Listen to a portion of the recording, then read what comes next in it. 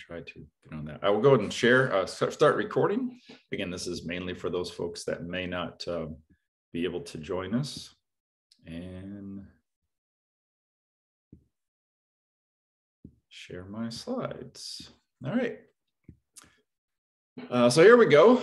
And, and I have to say again, uh, before I, I begin, I think I've said this to, uh, I, I, start almost every session with this, that this is a, it's a workshop. Um, you know, I'm sure that you all have been at workshops before. This is going to be a 45, 50 minute workshop. Um, I always uh, value and encourage people to chat, to share, either verbally, raise your hand, physically, raise your hand, uh, virtually with the icon, put something in the chat, however you'd like to communicate. But I do realize that uh, in 50 minutes, there's not a lot we could do.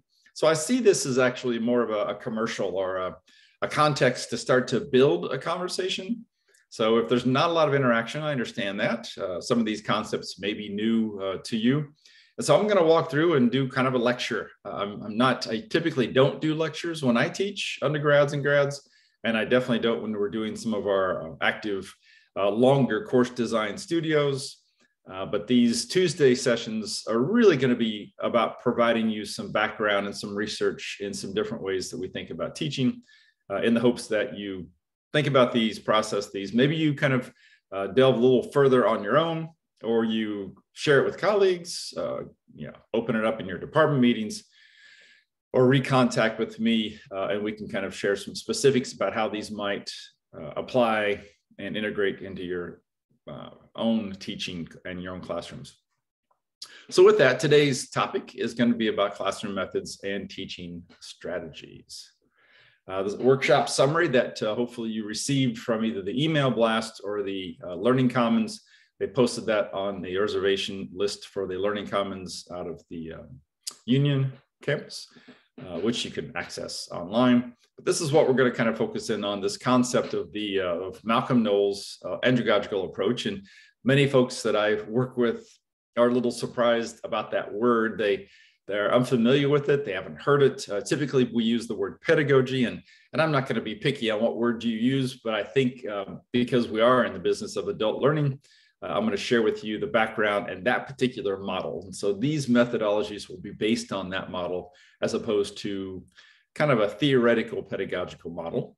Uh, I will focus, hyper focus, as I mentioned, I, I gave a, a, workshop previously on active learning methods. And so I'll touch upon those, but I'd like to go deeper into the three concepts of uh, pace processing and sequencing obviously we should think about some outcomes. The, the bottom line here, I'm hoping that uh, what the information that we share, that you're able to afterwards uh, integrate some well-aligned teaching methods, and you'll you'll probably getting tired of me talking about alignment, alignment, uh, whether it's alignment with your learning outcomes to your assessments, your outcomes to your methods, your outcomes to your technology, your outcomes to your program outcomes. Um, but I think sometimes people always ask the question, is it good or bad? Uh, and my, my question back to them is, you know, how well is it aligned? You know, what are your goals? Uh, what are your um, outcomes for the students? And if we really are intentional about how we align these, then typically positive things happen. I try to stay away from words like good and bad. Those are a little too relative for, uh, for myself as a kind of an empirical social scientist to, to measure. And so I like to measure what that might look like. And then I am going to introduce and kind of uh, tag along uh, Knowles' andragogical approach. And you'll see with his six items uh, that he thinks that, he kind of uh, proposes in his model. I'll encourage you to think about how you connect uh, with those, how you help kind of scaffold student learning with those. Uh, one of the things that folks who have joined me, I, I really try my best. Um, I think it differentiates Centers for Teaching. It differentiates the kind of things uh, that, that I, I can share. Uh, everyone has their discipline specific background and you're experts in, in your area. My background previously was chemistry, science ed, and, and now kind of pedagogy, andragogy.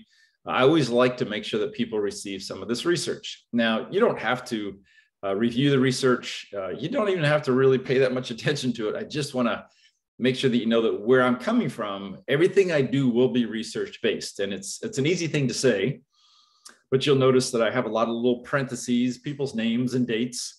uh, I often have folks that I'll overhear or they'll share this while they're having a conversation with others that, well, Jay said this and Jay said that. And the words will come out of my mouth. That's true. Uh, but I want to make sure that people know that, that I'm not actually saying it. I'm, I'm sharing the research of, of other folks who have done some really intensive research. So um, I, I start off right away with trying to share, you know, why would we think or even care about teaching methods? Why, you know, what's the effect of people who, who understand deep um, methodology of, of, teaching, pedagogy, andragogy versus ones that maybe don't? And, and let's be honest, uh, very few of us have had formalized training in, uh, in teaching uh, through our programs. You know, we got our, our degrees in biology, philosophy, whatever it might be, and we're, we're experts in that area. But uh, maybe you went through a, a, certificate or a short course as a graduate student, maybe not. Um, a lot of it is done kind of on the job the first year. And we may have picked up something, may have not. We may be in our 10th or 20th year and still not quite sure about this, uh, this pedagogy, andragogy that uh, we've been doing. Uh, I find that some of the effective instructors uh, really embrace this because they've been doing it all along. They weren't sure why, they weren't sure of the research. They just found a way to, to connect to what really works. Uh, so this is the first kind of reason, and this is a lot of data. Again, you don't have to read it or understand it, but it's just basically background to support why uh, we believe that understanding and using a variety of methodology for teaching is, is going to be really helpful to uh, influence student achievement. And in, in a nutshell, right? So teachers' estimate of student achievement, if you if you think well and think high of students, they typically will meet those um, those goals. Uh, the teacher uh, efficacy, so your own thoughts of your teaching ability. Uh, if you believe that you can teach really well, then that's going to have an effect. Constructivist approach, we'll talk a lot about that during this session. Uh, the strategy to integrate prior knowledge, which is a part of constructivism, uh, but understanding that, uh, what it means how you access prior knowledge, how you assess prior knowledge, how you connect prior knowledge. This is all of these factors that are part of the methods that we select for teaching. Uh, transfer strategies, you'll hear me talk quite a bit about information processing, how we can help develop those processing skills so the students can extend and extrapolate those concepts. Chances are in this world, uh, probably always, our students aren't going to find exactly what you share with them during those these sessions that we have the very limited amount of time that we have. So we have to develop uh, help them develop some ways when they meet new similar events in their life how they can extrapolate that information. And of course scaffolding. So these are some of the major attributes uh, that you'll see that are built into uh, people who actually focus on uh, intentional methods uh, so I thought I would do a really quick uh, history lesson here. I apologize for this if you know this, but most people that I meet have not even heard of the word andragogy. Uh, you know, you can look at the uh, the Latin derivative of this. Basically, you know, pedagogy means child learning, andra means adult learning. So there's nothing kind of fancy about this. In that there are differences between adults and children, uh, novice and experienced. Uh, none of us at, at, our age of even 18 come to um, the the class with a blank slate. We come with experiences. Something has happened in the first 18 to 20 years of our lives. And this is really what andragogy is all about. It's it's been around for a while, you know, 1830s, somebody kind of thought, hmm, this is different. You know, people, uh, these aren't uh, young children who maybe uh, need uh, a little bit of background knowledge to start to make some connections. Uh, John Dewey came out and kind of pursued it and kind of let it go. And uh, in the 20s. I really like this, and why I highlighted this is that uh, Rosenstock basically said, you know, he, he, they thought that adult education might require special teachers and special methods and special teaching philosophies. And I, I have to laugh because you know this is kind of what I do uh, for a living. I try to help faculty who are again experts in their area um, help others become experts in in their area. And uh, I think it does take a special. And, and that word special, what I mean by is just somebody that's willing to uh, really consider and reflect and uh, and take what we know about the research on how we teach, how we communicate, how we interact, and build that into who's in front of us. Uh, and uh, and as you probably know, I, and I've talked about this in a previous session, is that thinking about um, who those students are, what are their backgrounds, maybe offering a pre-assessment, a baseline, an inventory, something that allows you to capture uh, who they are at that moment. We all know that that students change year to year, decade to decade. So trying to figure out what that is that they know, and then capitalizing on how you might connect to that. so that's kind of the background of where that is. I'll just jump right and try to get to this as quick as possible, uh, sharing the six major points of, of Knowles' model. Um, it is this humanistic, right? It's, it's very connected to who we are. Uh, it is in trying to get people to be more self-regulated, more self-directed, and create what's called autonomous learners. I think we all know it, but sometimes we might forget that um, you know we need to do and interact with students in a way that 16 weeks later, well, a semester later, a quarter later, that um, they can kind of do it on their own. And so that's a lot more than just delivering content. We have to find a way that they start to uh, be able to uh, ask the right questions and, and consider and reconsider and, and really document uh, what they're understanding.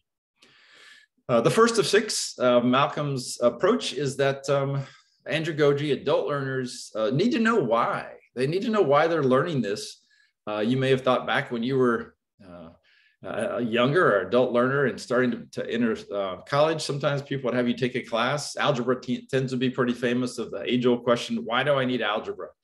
Um, the best answer that I've heard from this is that it was basically from an algebra instructor is that they try to basically share that it was, it was a way of thinking, a way of really looking at life and, and life's challenges. And so find whatever it is that you would like, but you probably should help our students to know uh, why, you know, and a good solid reason uh, that aligns with their background and where they're going. The one thing that may not work is if you always assume that they are going to be like you and they're going to end up getting a PhD and they're going to end up being a professor. Uh, very few of them, uh, statistically, will probably find that as a, a rational reason to learn uh, this concept at this point in their life. So you have to find a way to connect maybe uh, from that.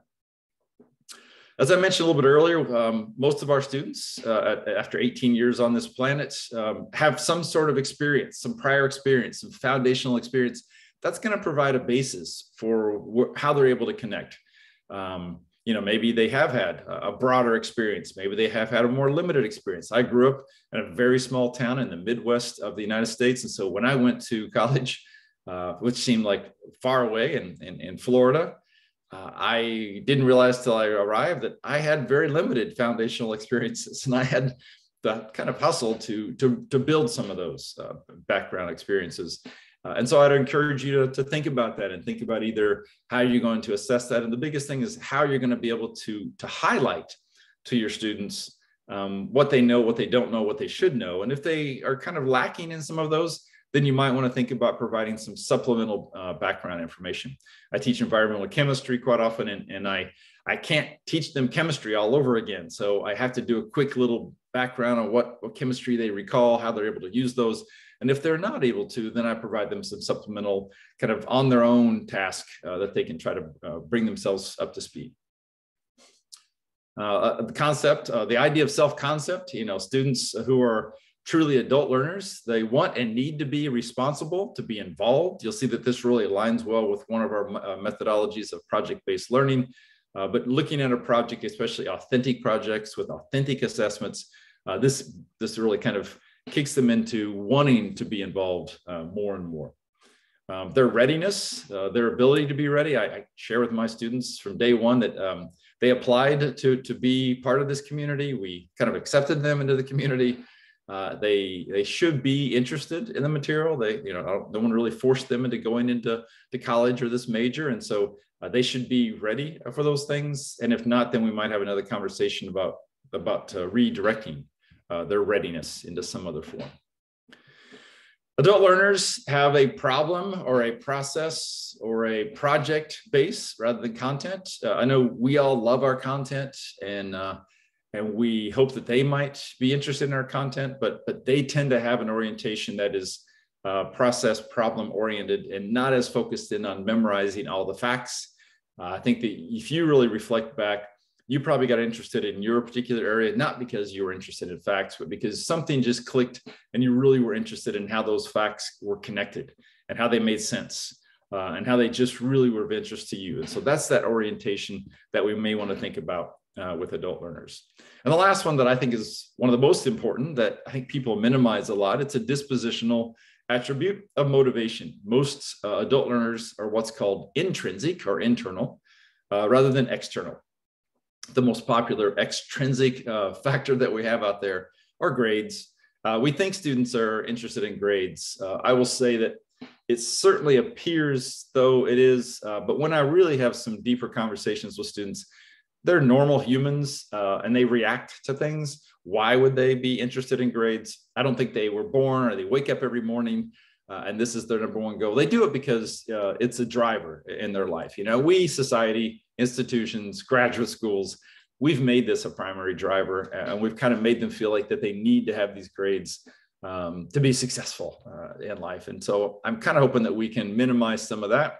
I, I tend to share with my students that if you truly get interested in something and truly care about something, you will, I won't say always, but most of the time, um, you'll earn the, a sufficient grade to keep you moving along uh, and you'll ultimately be successful. So that's the motivation behind that. So these are the six foundational um, concepts. I won't go through in detail, but I just always like to share that this isn't a standalone theory out there. Um, some of you may be familiar with Mezirow work, uh, Critical Theory of Adult Learning. Uh, all of these concepts address uh, th that particular aspects of um, adult learning. This is all just to provide further background um, that there is some really foundations uh, to this concept of andragogy and, and then hopefully thinking about that when you develop your methods. Um, you start to to integrate all of these into the methodologies that you're working so that we remind ourselves. And some people will will say some of my colleagues uh, will come back and say well you know my students are still novice learners uh, and they maybe they aren't as mature as we think they are and, and there's a lot of rationality that we can think about those but i think if um, if we start to, to kind of have some expectations of who they are how they'll behave uh, humans in general and definitely i find that our students uh, will actually meet that that challenge. So interactive uh, andragogical methods I'll, I'll, just kind of share some of these again. You'll see uh, if you're kind of following along these workshop series uh, inquiry-based, problem project, case-based discovery. Hopefully these have come uh, across your desk. And if you haven't delved into these yet, I'm happy to work with you individually to see how we can transition or migrate some of your current methodologies into these. Uh, I want to be really clear and upfront that um, this is not easy. Uh, it's it's not a, a time saver. It's uh, there's really nothing about effective teaching that is going to um, make things easier, quicker for you. It, it will empower the students. It will completely take a different approach uh, to how students engage in the content, the material, the concepts, you, the world. But it's a challenge. Uh, I'm just going to be honest, it's a challenge. So if you start to do this, don't think that you're just going to sit back on a weekend and change all of your teaching methods from, uh, you know, kind of traditional lecture base to uh, some of these uh, it's going to be a, a, little bit of a challenge, but but not insurmountable. And I'm happy to help you with with all of this. Uh, for the constructivists out there, obviously building upon prior knowledge, there's some connections and scaffolding. Uh, there's a there's a very deep foundation uh, in interactive andragogy with constructivism, and and really from from Lao Tzu to, to Piaget to Dewey to Vygotsky. This this is not a new concept. It's really spread across cultures. It's spread across time this has been going on for true deep learning uh, for, for a long, long time.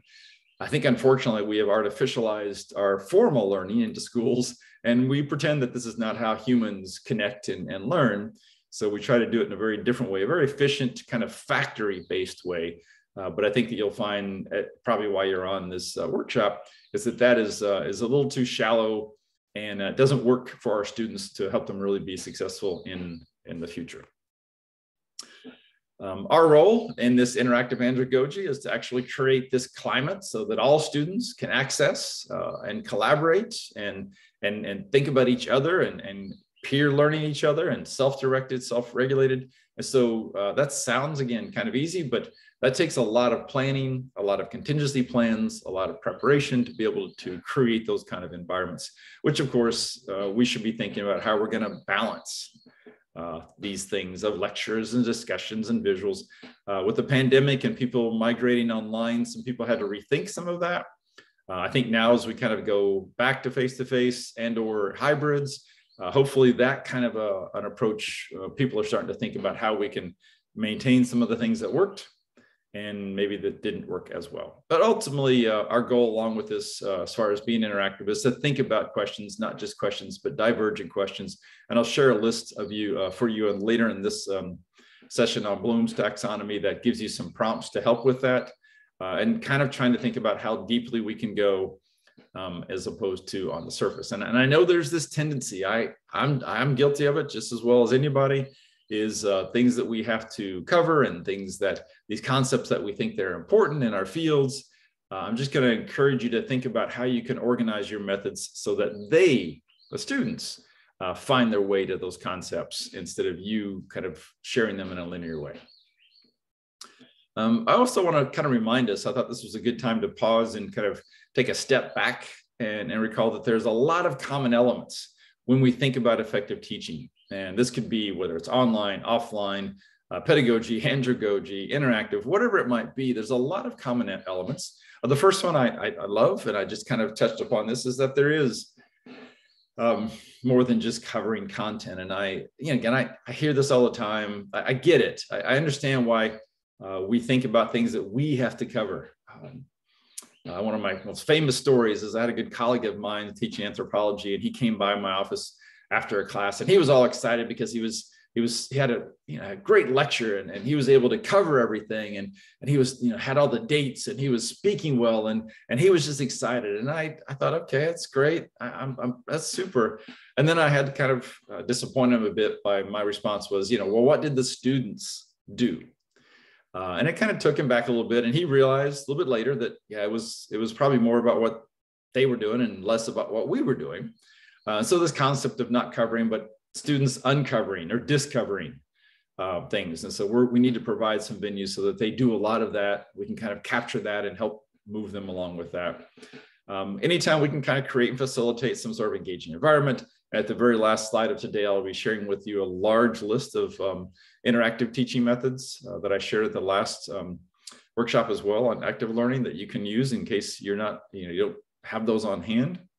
Uh, lots of interactions. Effective teaching requires lots of interactions. I will share that could be during class, before class, after class. Um, this is the, the tricky thing. And it kind of came out with the pandemic when we talked about synchronous versus asynchronous. You know, what are we actually having students do between the times that we see them or virtually see them? And, uh, and this is key in our structure. It's key in, in Andrago. It's key in our expectations. And obviously, timely, helpful, critical, formative feedback. You're going to see this as a repeated theme. Uh, again, this can be time consuming, but it can also be well worth it if it's the right time and the right kind of feedback, both for you and for your students. So this is the one slide that I did share uh, at the previous uh, active learning methods. Uh, maybe some of you recall this. I went into each one of these in detail, so I won't go into them now, but these are some really key models. There's other types of methods and models, but these are the ones that you might want to think about uh, as you're as you're kind of planning of who who you want to be as a teacher as you're when you're writing your teaching statements uh, when you're planning your courses and designing your courses you probably want to pick a couple of these and, and create that as a, as a theme or a backbone. Uh, the first one obviously is under this category of information processing. I share uh, the graphic there. As you recall I, I shared in detail how this works uh, with the an earlier workshop on learning theories.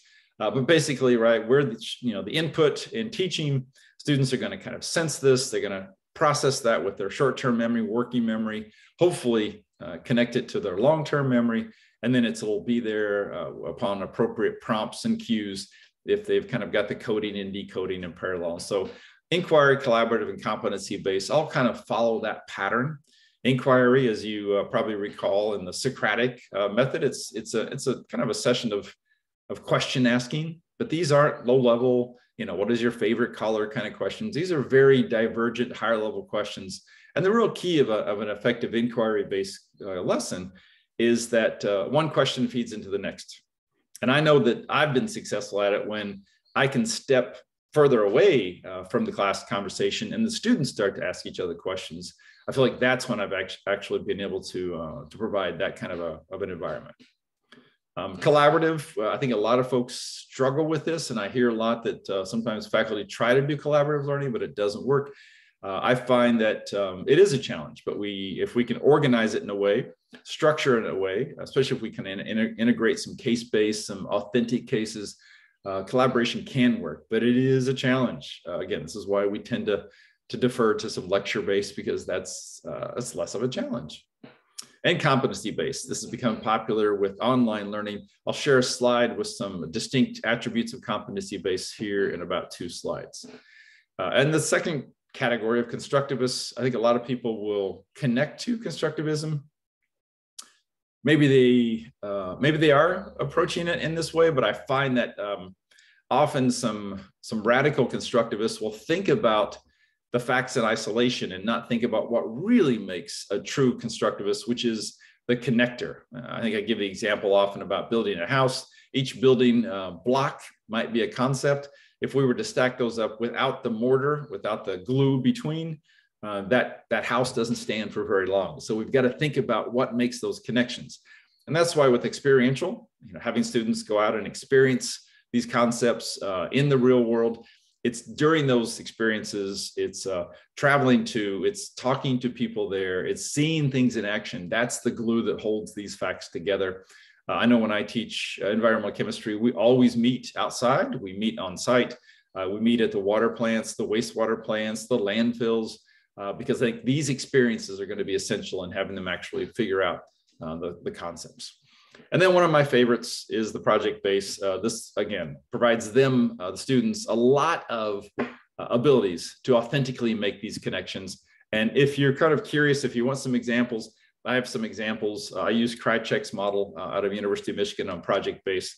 He basically has these five steps. There's there's dozens of ways to run a good PBL um, opportunity.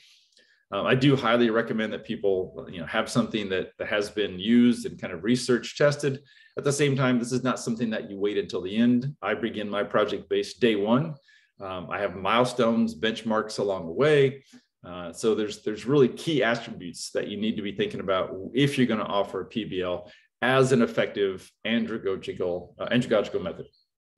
And for those that haven't seen uh, the competency-based learning, these are some basic attributes that um, uh, has been kind of out there and accepted uh, but these, uh, if you are going to kind of work with these, you need to figure out what those competencies are. Uh, you may or may not want to connect these to grades or points, or uh, sometimes people connect these to what's called mastery learning. And so they, as long as the students can have as many attempts as they'd like until they achieve this.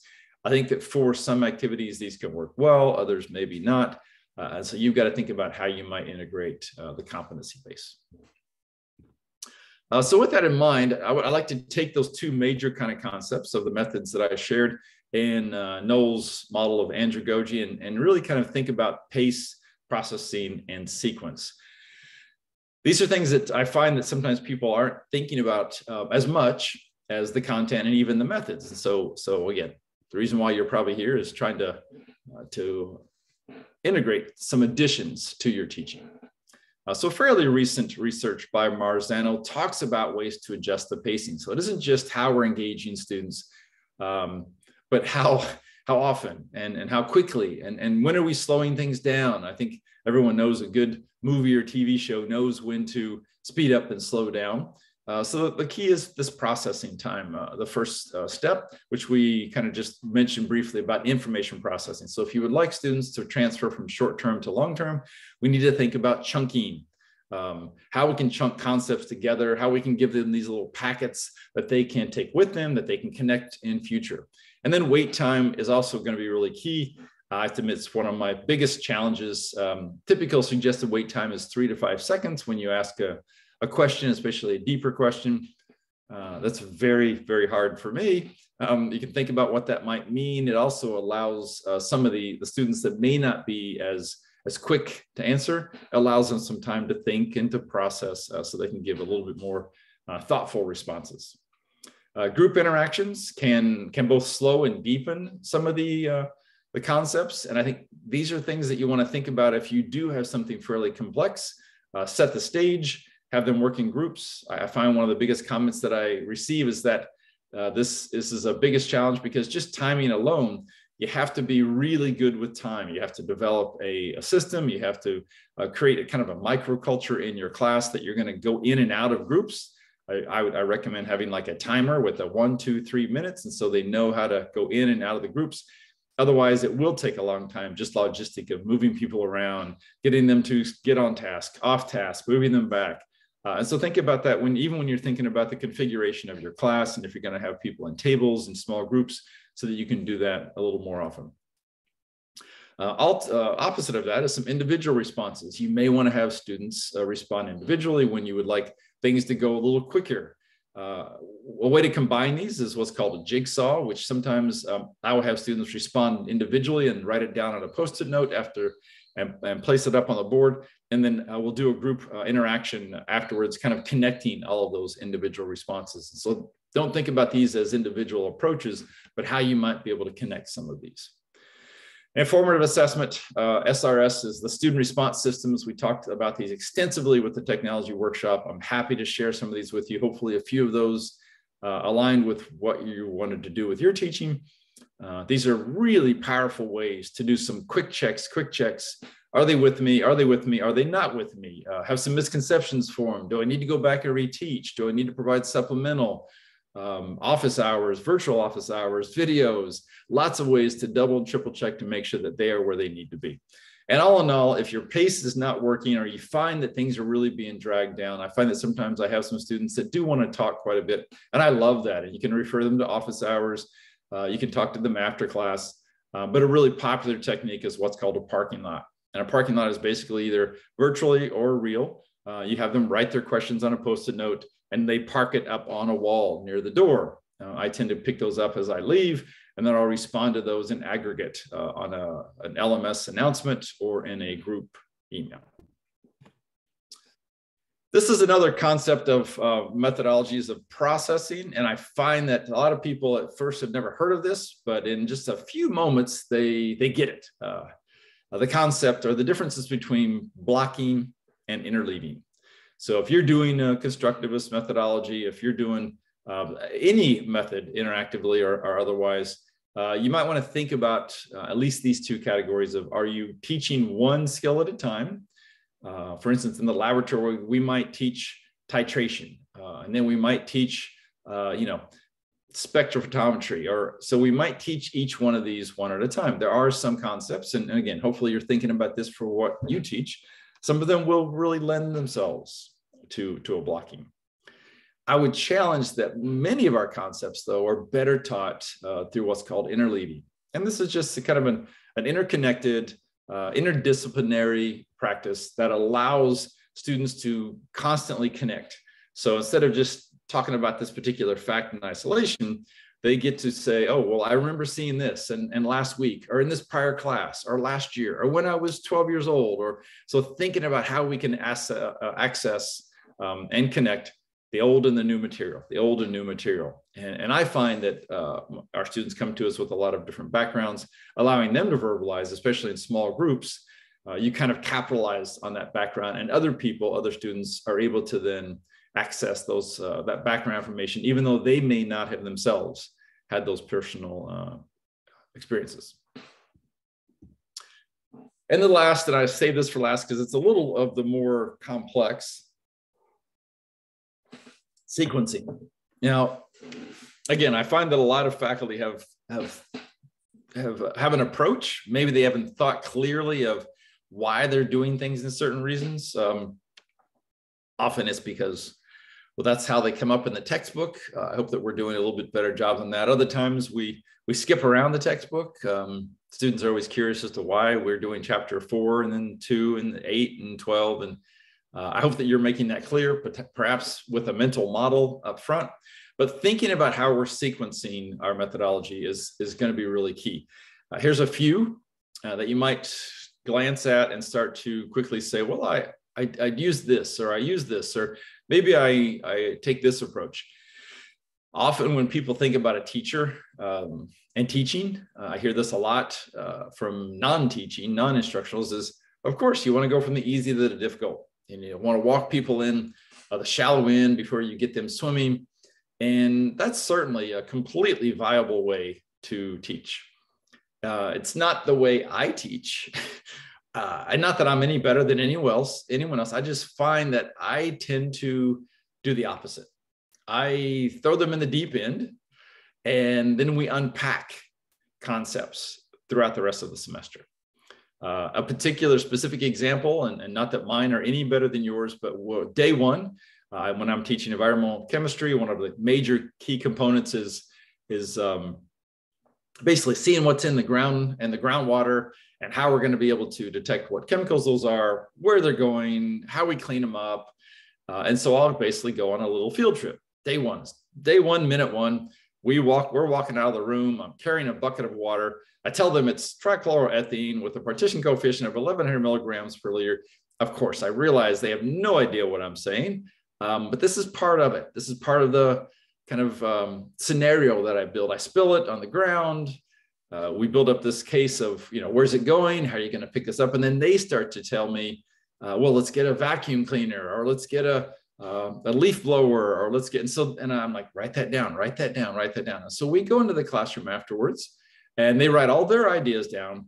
And then throughout the rest of the semester, I'm connecting the specific chemical verbiage and vocabulary to their ideas. I'm reminding them that they came up with the ideas. I didn't give it to them. And so now they own those ideas. And, and I'll pick out people's names in particular. And so, you know, they're empowered and they're feeling like, wow, they, they actually knew a bit of this. They didn't even know they knew a bit about this. And so that's just a completely different approach than that linear kind of easy to difficult. Now, I'm not saying that easy to difficult is bad, but I am saying that if it's not well aligned or if there might be a better way, and only you will know that, think about some other ways.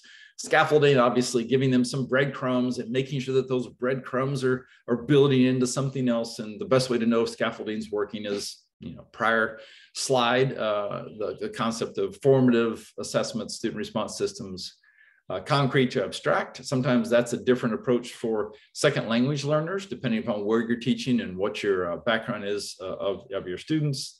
Um, hierarchical, procedural, the two I want to focus in on are deductive and inductive. Um, deductive is general to specific, and obviously inductive is the opposite. This is something you may want to really think about. Here's a little more extended approach uh, and then definitions of inductive and deductive. I won't go through too much of the deductive. That is kind of what we call the kind of lecture didactic, uh, teacher centered. It's basically where you kind of give them a rule and they complete some task. I tend to, and I think that most uh, people that work with on these workshops have at least considered and occasionally use an inductive method.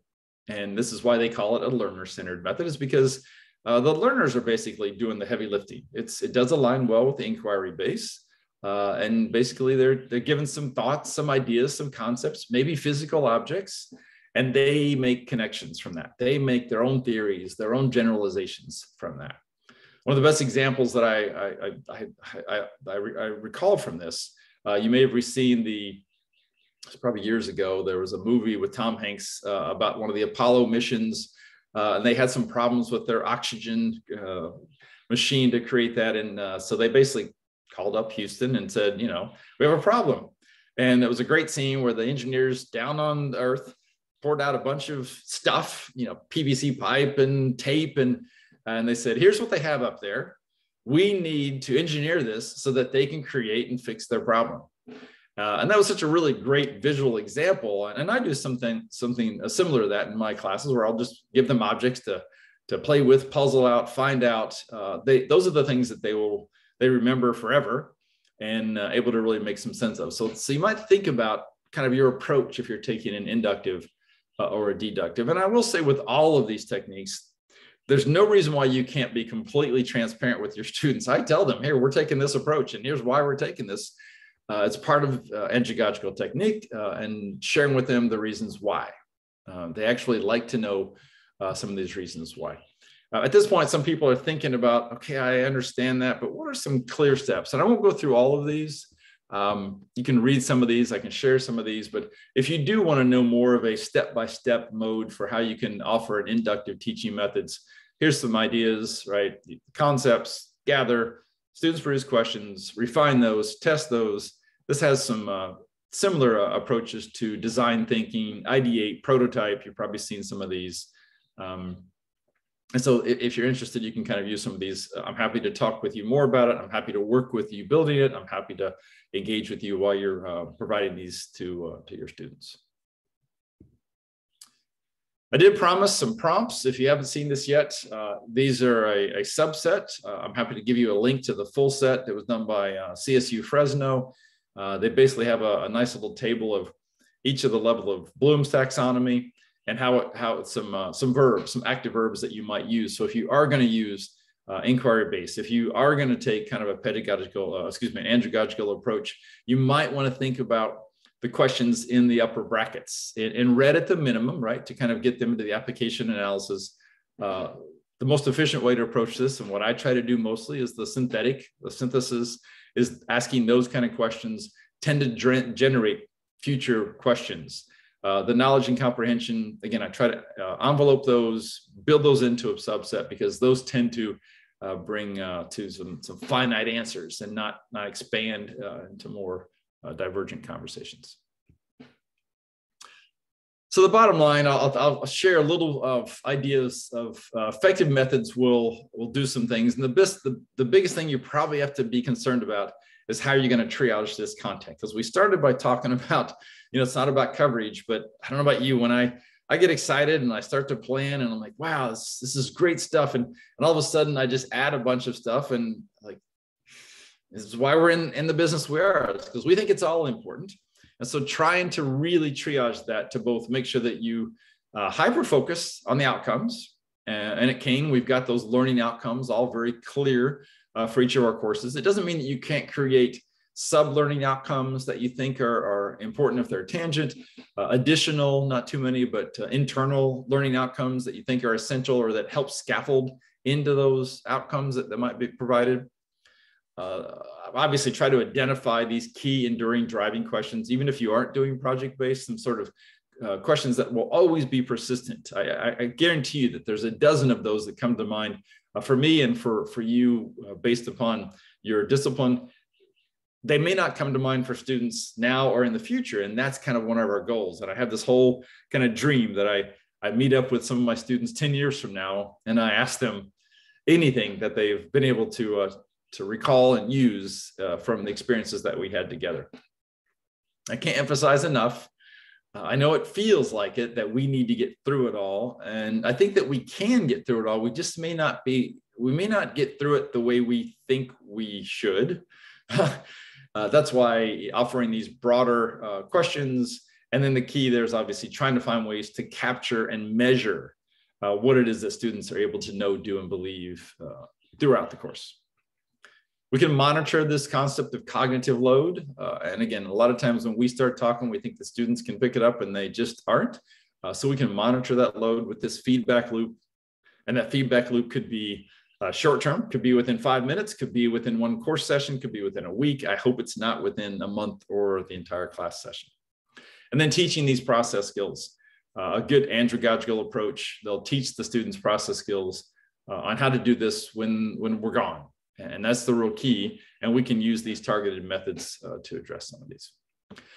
So there are many, many ways uh, to integrate these. I do have this list of 289 active teaching strategies I shared uh, previously. If you didn't get that, I'm happy to share that link with you uh, so that you can have all of those methods. Those can uh, easily be used as part of your andragogical methods, part of uh, inductive approach, part of if you're looking for ways to make it very uh, fulfilling and, and, connective to your students, um, you can use any of those.